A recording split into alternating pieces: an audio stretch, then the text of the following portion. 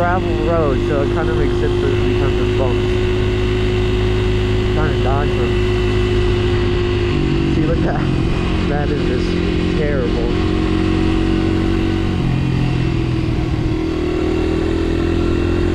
So I don't actually know the top speed of this bike. Um, so yeah, I guess we'll find out what it is. Wow, I am like coming right at the wind right now.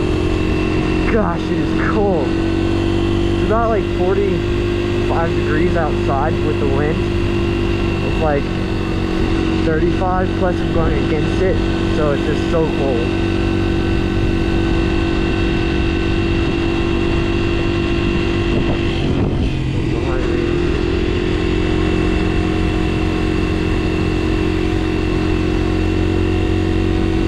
yeah, I've actually never been this far on the road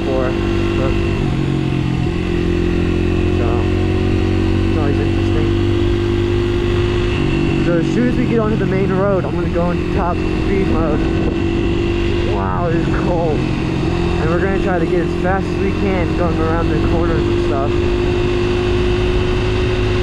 Right now I'm in fourth, pretty sure. Woo! Good forever on top speed,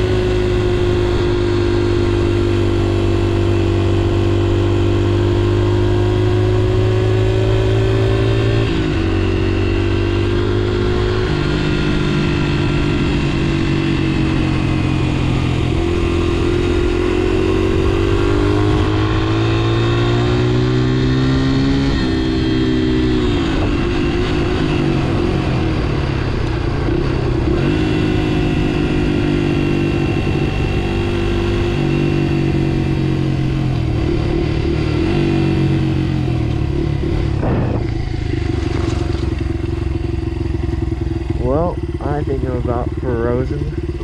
Whoa, oh, and we're on ice. Okay, I think I'm gonna end the video there, you guys.